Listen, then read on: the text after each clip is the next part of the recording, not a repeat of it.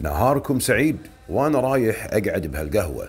يطل علي هذا المنظر الجميل قصر السيف العامر اللي إن شاء الله دوم يكون عامر. بس السؤال شنو اسم هذا القصر وقت بنائه؟ وكم اسم مر عليه عبر تاريخ الكويت؟ بني قصر السيف عام 1904 في عهد الشيخ مبارك الصباح رحمة الله عليه وكان أول مقر وقصر حكم. في الكويت. قبلها كان أمراء الكويت يحكمون البلد من بيوتهم ودواوينهم في البداية أطلق عليه قصر مبارك ولكن تقول بعض المصادر أن الشيخ مبارك ما استحسن هذا الاسم شاف أن في نوع من أنواع الكبر والكبر لله. فسمي بي القصر الجديد. وفي عهد الشيخ جابر المبارك رحمة الله عليه انتقل قصر ومقر الحكم إلى دسمان.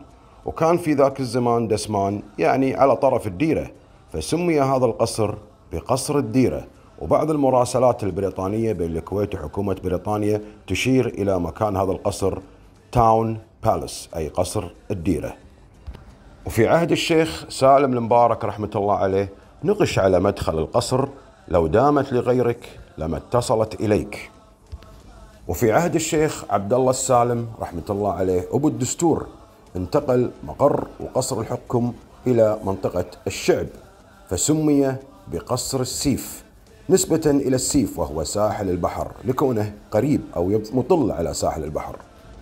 وفي عهده عام 1961 صارت التوسعة وبناء قصر السيف الجديد على الطراز المعماري الإسلامي بالزخارف والأقواس وبرج الساعة.